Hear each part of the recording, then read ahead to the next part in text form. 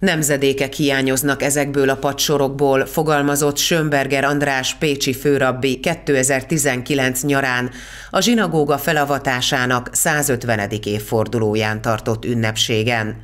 Az 1800-as évek közepéig nem lakhattak a zsidó családok bent a városban, de aztán több pártfogónak köszönhetően 1944-ig sikeres közösség élt Pécset. A holokauszt sajnos a vidéki közösségeket nagyon meg ritkította. Itt is 10% az, aki, akit nem gyilkoltak meg, hanem haza tudott jönni.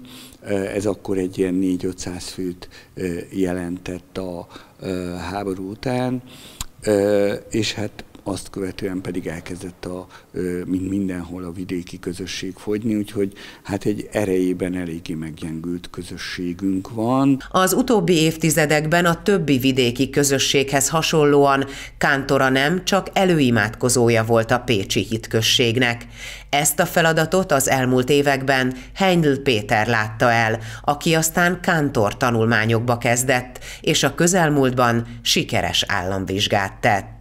A zsidó istentiszteleten egészen más szerepe van a kántornak, mint a keresztény hagyományban. Az orgonista az általában nem a kántor volt, hanem, hanem valakit, keresztényt, aki vagy családtag volt, vagy ismerős, vagy egyszerűen csak egy a közösségben jó, jó, jóban lévő és egyébként zenét ismerő személy, akár férfi, akár nő, ült az ongora mellé. Tehát a kántor az, az, a, az, az mindig az erőimádkozás, tehát a, a, a dallammal való imádkozás volt a, a kántornak jellemzően a feladata, egészen a, a legutóbbi idő, kevésbé a, a, a, a zenekíséret. A Pécsi zsinagóga hármas tagolású belső tere az eredeti állapotát őrzi, és a felújítások során törekednek is e műemléki értékek védelmére, de ráférne az épületre a felújítás folytatása.